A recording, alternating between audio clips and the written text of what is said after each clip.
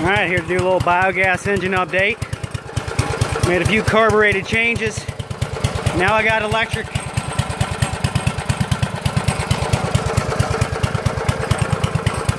Little carburetor change. It got me some new electric, baby.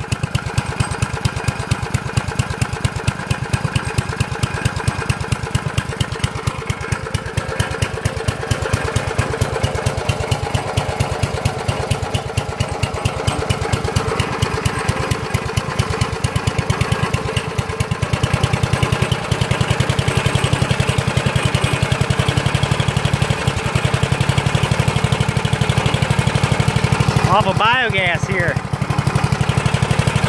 That's burning a light bulb. Hey, I took food waste and turned it into electricity. Food waste into electricity. Ha ha ha.